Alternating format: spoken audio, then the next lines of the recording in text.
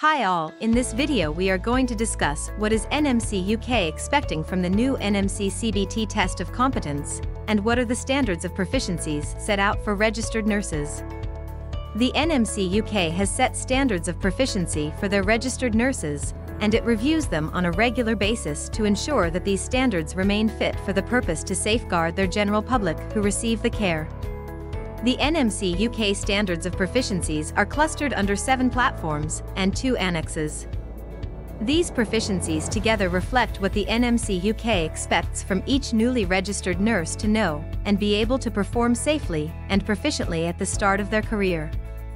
Besides, the roles, responsibilities, and accountabilities of each registered nurse is described under each platform.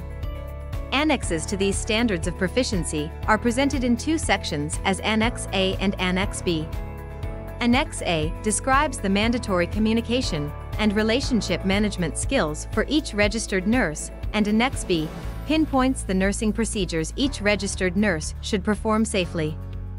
Furthermore, these annexes help to identify the advanced skills required by a registered nurse in a particular field of their nursing practice for you to explore the new version of the UK NMC CBT exam, and to practice, or to prepare for the exam you could visit our sample online course in the first link on the description. If you find this section useful, please like it and share with your friends. More NMC CBT related subjects will be uploaded in the coming days. To get the notification, consider subscribing our channel. Visit our YouTube channel for more clear-cut medical subjects.